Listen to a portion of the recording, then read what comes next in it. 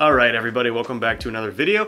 Uh, today's a rainy day, so I decided we're to be inside brewing some beer. Today, we're to be making a Cascade-only American Pale Ale. Something like six out of the last eight brews that I have done have uh, almost entirely been above 7.5% ABV, and I'm getting kind of tired of drinking lots and lots of strong beer, so I'm to dial it back down for this one, and we're to shoot for a 5-ish percent beer.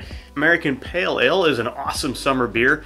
Uh, it's not too hoppy, and it's not too strong, and it, it's kind of like a less hoppy cousin of the American IPA. Uh, so you're to have a whole bunch of those same hop forward notes and you're to have a whole lot of hop character in the beer, but it's not going to be uh, very bitter and it's not going to be as as hop forward as an American IPA. In fact, the American Pale Ale uh, has less in common with the American IPA than it does with uh, British pale ales, believe it or not. So uh, typically, you're going to see them be a little bit maltier. Um, they're going to have potentially a little bit more variety in the malt bill. Um, but I think I'm just going to kind of go for something that's going to be more like a session IPA. Basically, I'm going for something that's a little more low ABV, uh, high drinkability, it's to hopefully have a little bit more hop expression and character than your typical American golden or blonde ale. Uh, really trying to keep this one on the pale side of things, uh, and just I'm hoping for a nice, bright, uh, citrusy, enjoyable, sessionable uh, summer drinking beer. So hopefully we can get that today. I'm using Cascade hops entirely because uh, Cascade is just basically an awesome hop for this type of project. Uh, it's uh, it's a rather medium to low alpha acid hop, so it's not super strong. You can use a lot of it and not uh, really overdo it. It's not you know extremely bitter when you use it in quantity. It also has a nice, really expressive floral and citrus character, uh, which will hopefully pair nicely with uh, the very simple malt bill that I have here. So hopefully it comes out tasting nice and bright, citrusy, and uh, enjoyable without being uh, overly bitter. All in all, this should be a relatively easy beer to brew, um, and I think it's going to be a lot of fun. So let's get into the recipe. So we're gonna go with 10 pounds of Maris Otter as the base malt. Uh, Maris Otter is probably my favorite base malt of all time. It's extremely flavorful. It has a very satisfying and full flavor. Typically it's kind of like a bready, doughy kind of base malt flavor. Uh, and I'm opting for Maris Otter over Two Row because in the Pale Ale you're really shooting for a balanced beer, so having a decent amount of malt flavor to back up your hop flavor is pretty important. So we're gonna pair that Maris Otter with one pound of Vienna malt for just a little touch of color and a little touch of slightly more uh, dough kind of flavor. So hops here, it's all Cascade and we have a lot of Cascade. Um, my Cascade is all entirely 6.4% alpha acids. So I'm adding one ounce at 60 minutes to bitter, and then one ounce at 20 minutes, one ounce at 15 minutes, one ounce at 10 minutes, and then two ounces at zero minutes. And then I'm reserving two more ounces to dry hop with. Now, one might think, holy crap, that's eight ounces of hops going into an American Pale Ale. Are you sure it's an American Pale Ale? Yes, because my IBUs are actually only 48. And the IBU to gravity points ratio is actually just still under one. So despite it sounding like an IPA, it's gonna have hopefully a ton of flavor and aroma, but not be overly bitter and still have a lot of room left over for that malt to balance things out. All wrapped up in a rather low ABV package. So for yeast, we're going to be using one package of rehydrated US-05 dry ale yeast um, because that is what I have on hand for American ales. So for water, I'm uh, using a profile that is going to kind of accentuate the hops a little bit. So we have a ratio of sulfate to chloride of 2.3 to 1, and this is going to help kind of add a little bit of a uh, perception of a drier finish, but also it's going to bring forward those hops a little bit and uh, kind of brighten up the flavor. And we're also going to be keeping a relatively high amount of calcium and magnesium in the profile uh, for yeast health and for fermentation quality. So my profile is 63 parts per million of calcium, 28 parts per million of magnesium, 65 parts per million of sodium, 233 parts per million of sulfate, 100 parts per million of chloride, and 36 parts per million of bicarbonate and I'm adding 10 grams of gypsum and 10 grams of Epsom to my water. Um, that is for my mash and my sparge water uh, to get that profile. So the bottom line is if you're using city water like I am, uh, your water profile is going to probably be different in pretty much every single case. Uh, so just keep that in mind and use a tool of your choosing to build your own water profile for this beer. And basically if you want to brew the beer the way that I did, um, then the profile that I'm providing here is basically just a reference so that you know how it worked for me. All right, last but not least, we are going to be mashing with a single infusion mash at 150 degrees Fahrenheit for 60 minutes. That should keep the body of the beer relatively light and hopefully will cut down on the amount of uh, residual sugars that are left over after fermentation, keeping the beer from being overly sweet. All right, so my mash water is all ready to go. It's up to temp and has all of the salts dissolved in it, so we're gonna go ahead and move on over there to dough in.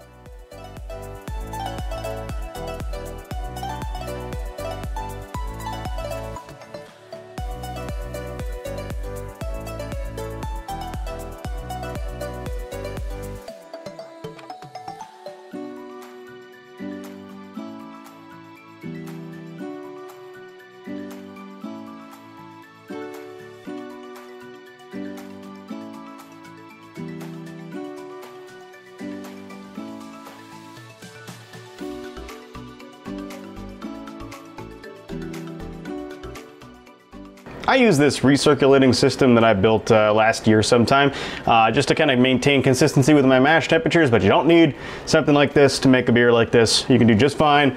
I want to say that with an igloo cooler or brew in the bag setup because I've done that stuff before too and made fine beer with it. Uh, just follow the mash temp guidelines and you'll be okay. All right, so our, our mash is up now, so uh, we're gonna start collecting our wort.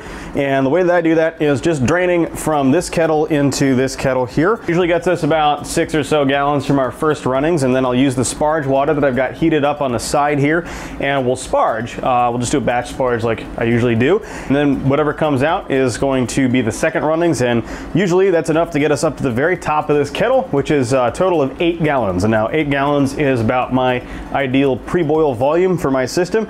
So uh, that's what we're targeting. Hopefully that works out pretty well. Once I have all eight gallons collected in here, I'll remove the bag that I have here and I'll pump the wort from this kettle back into this kettle and then we'll get ready for the boil.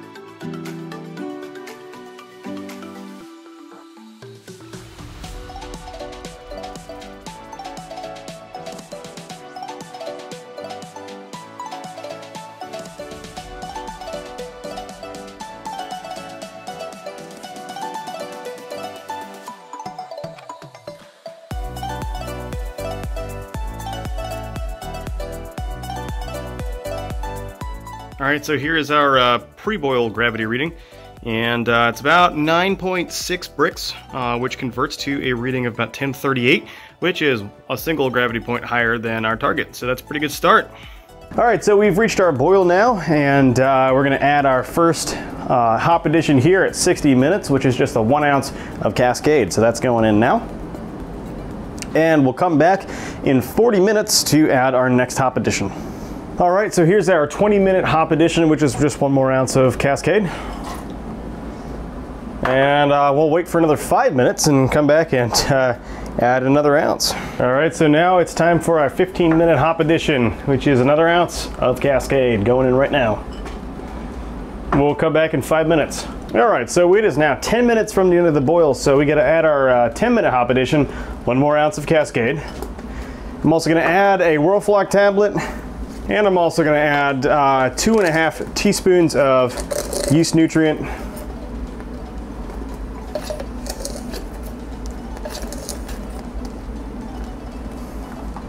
All right, so the other thing we're gonna do around the 10 minute mark is uh, make sure that we sanitize the inside of this chiller by recirculating boiling wort through it for the last 10 minutes. Um, that is something I highly recommend you do with whatever chilling setup that you have, uh, just assuming of course that it's clean on the inside. That's just gonna help ensure that you don't contaminate your beer as you cool it down. All right, so uh, we have now hit the end of our boil. So I'm gonna go ahead and shut off all the heat sources. And uh, we're gonna start chilling. All right, so while we're chilling, it's also our zero minute hop edition.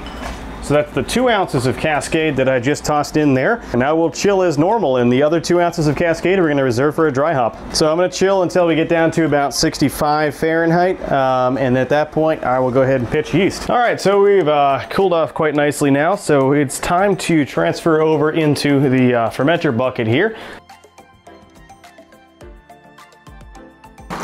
So first of all, we're gonna make sure that we aerate this quite heavily by splashing it into the bucket and to generate a lot of bubbles. Um, yeast is gonna need oxygen to reproduce quickly and ensure a healthy fermentation. So this is about the best method you can get, short of actually adding uh, oxygen directly with an oxygen wand. Uh, so fermentation for the beer should be relatively simple and straightforward. Um, it is a standard ale fermentation, so 65 to 68 degrees Fahrenheit for basically 10 to 14 days. However, there's going to be a dry hopping addition here, so uh, what I've decided to do is the same exact method that I used for my Citra Double IPA. Um, you can see the fermenter lid sitting over here with a hop bag on it. I've already added those hops in there, and I have a stainless steel metal object inside the hop bag and on the other end of the uh, fermenter lid is a whole bunch of neodymium rare earth magnets, which are very strong magnets. So the idea is uh, once we pitch the yeast tonight we cap it up and leave the dry hop bag on top of that. And then uh, once I'm ready to dry hop, I will just pull the magnet off and that will drop the bag into the beer as it's fermenting. So that way I don't ever have to open up the fermenter. Um, also, in theory, there should be enough CO2 kicked off by the active fermentation that will purge the headspace uh, in the fermenter of any oxygen, and that should prevent the hops from staling over the first uh, couple hours that they're exposed to the oxygen that's in the fermenter. So anyway, basically, yeah, that's it. Ferment for uh, 10 to 14 days at 65 to 68 degrees Fahrenheit. Dry hopping uh, for the last seven days. All right, so here's my rehydrated packet of US-05. Uh, so we're just gonna be able to pitch that directly in right now. And there we go. Uh, so basically, I should just be able to cap this up like so. And then, once it's time to dry hop, just rip this magnet stack off and it should drop the bag right into the wort. All right, so our uh, original gravity sample came in at about 11.7 Brix, which translates to about 1046 for an OG, which is uh, slightly low, actually, three points low. Uh, but that's okay, should be a pretty nice sessionable beer at the end of this. So we ended up with a surprisingly low final gravity of about 1004. Uh, so it's done, and uh, it's going into the keg tonight. We're going to burst carbonate, and we'll see how it is in a couple days. So fermentation went off really without a hitch. Uh, I was actually shooting for a final gravity of 1010 and we went way past that as you could see. So uh, it actually worked out um, more completely than intended. Uh, and initially I was like, okay, this is probably gonna be a little too dry, but it actually works out pretty well in this beer style. Uh, I actually think the drier final gravity resulted in a surprisingly crisper, tastier beer. Um, I actually really kind of welcome the way that that went out in this beer style and the way that it manifests itself. So fermentation was actually very fast too uh, for using dry yeast. Uh, it only took me eight days to reach final gravity and then I actually kegged it on the ninth day uh, and then carved it up and it's been just awesome ever since. Super fresh tasting beer, which is always nice when you have a hop forward beer. I think the dry hopping section was only like five or six days though as a result of that. And uh, I think that was actually a little bit less time than I was planning on during the recipe formulation, but it still came out with a lot of great aroma and I think it was just enough time. Without further ado, I'm gonna make use of what daylight is left and we're gonna pour this thing and go outside on the porch and talk about it. All right, so it's called Coldbrook Ale after a uh, stream that's near where I live. And uh, it is a 5.5% beer with about 48 IBUs.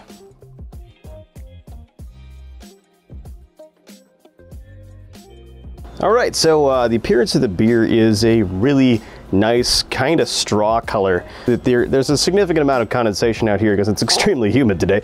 Um, so that's probably causing the glass to be a little bit hazy. Uh, but trust me, the beer is uh, about like 95% clear. There's a little bit of haze from uh, polyphenols from dry hopping, but that's about it. And I think it's going to continue to trend towards clearing up over the next couple days. Uh, the head on it pours as a really nice, quite beautiful um, white, very, very, very fine bubbled head that actually sticks around for quite a bit of time. As you can see, it has a really nice structure, uh, which is actually pretty awesome. I don't know what I've done to make this beer stand out from some of the others that I've brewed, um, but this one has a significantly nicer head than most of the ones that I make. And I think you'll see that over the course of this tasting section, it's gonna actually maintain a really nice layer on the surface. All right, so uh, for aroma,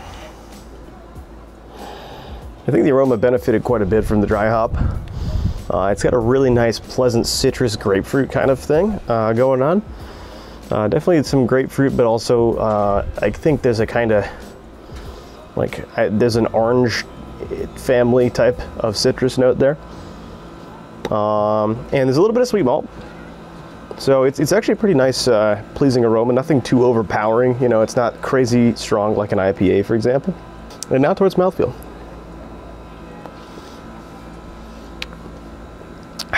So as you could tell from the final gravity clip, um, the final gravity end is very low, making this beer quite dry. And it definitely tastes as such.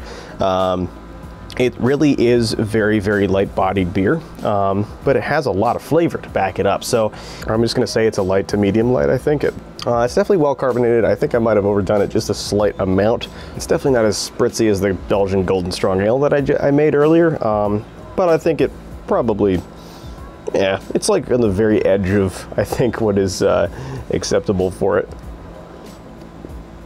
But yeah, really, really goes down very easy. Extremely drinkable beer. Um, really nice, I think, overall uh, drinking experience. Um, so then, yeah, we'll go on to flavor now.